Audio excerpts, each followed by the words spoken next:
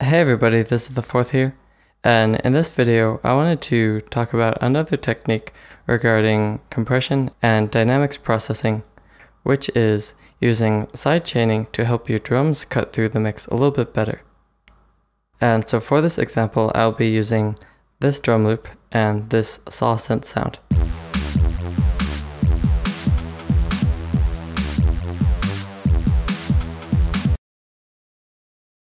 And so what I want to do to help the drums come through a little bit better on top of that saw sound is I want to sidechain the drums to this track and use sidechain compression to kind of open up a little bit of space for those drums. And so I'll add a Fruity limiter and go to the compression settings and select the appropriate sidechain input. And now you can see that the drum loop is going into that sidechain track. So what I'm going to do is set a threshold so that the kick is decently well coming through the threshold, but it isn't going to completely, you know, destroy the presence of my saw synth sound. So I think um, about here might be okay. And you can see that the snare is coming through a little bit as well, and that is something that I want. And now I just want to adjust the ratio until I'm getting a decent amount of reduction, but it doesn't sound too much.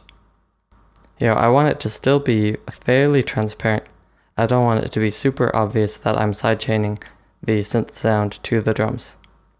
I mostly want the effect to be kind of a subconscious effect.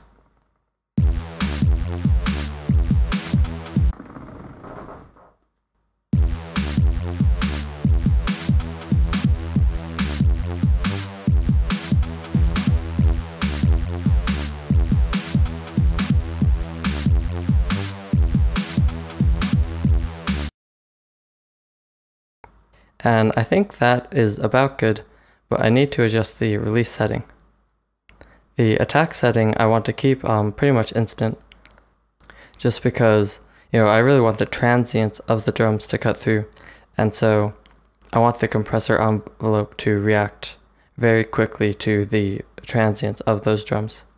So I'm leaving the attack at uh, a very low level or zero, and I want to reduce the release so that I'm not getting as much of a pumping effect. Because you can hear there's a little bit of pumping going on. And I don't quite want that, so I'm going to reduce this until it sounds yeah, a little bit more transparent. There's less pumping and the sidechain overall is a little bit less noticeable.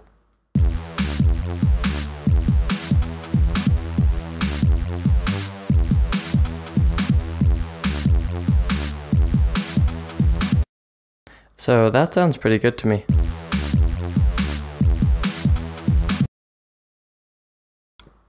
And you know, you can of course adjust other parameters or make fine tuning adjustments and get everything exactly perfect to get uh, you know, exactly the sound you want. But this sounds decent to me. And you can hear if I turn it off, there's um, quite a bit of a difference.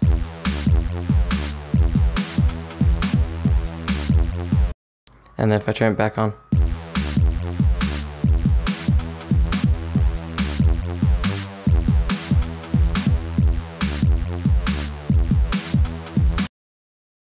You know, you don't really pick up on the sidechain um, a whole lot. It's not particularly noticeable in the sense that you notice the saw sound being reduced but what you do notice is the drums come through uh, quite a bit more clearly.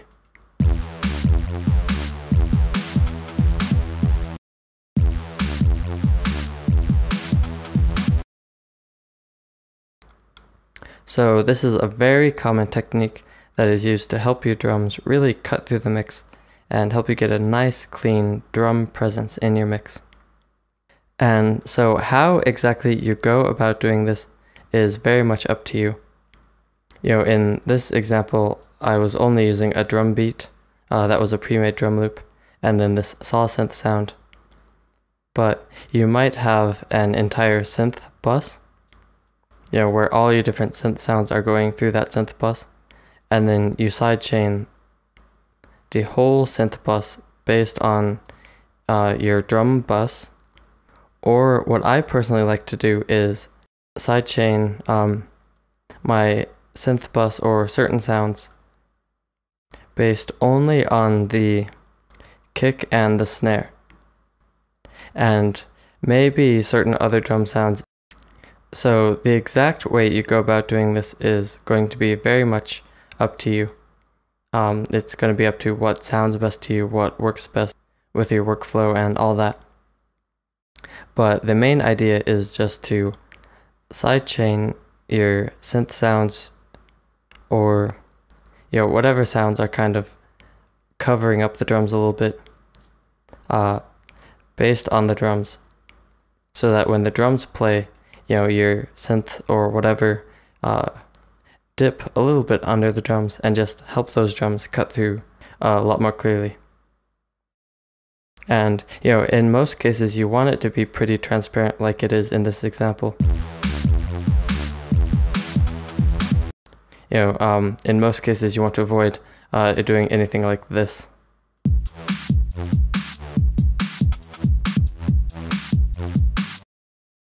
Um, but at the same time, it's kind of a cool effect. Uh, yeah, if you want to use it as an effect, that's fine. But if the whole point of what you're doing is to just get the drums to cut through, you want it to be a little bit more transparent, more than likely.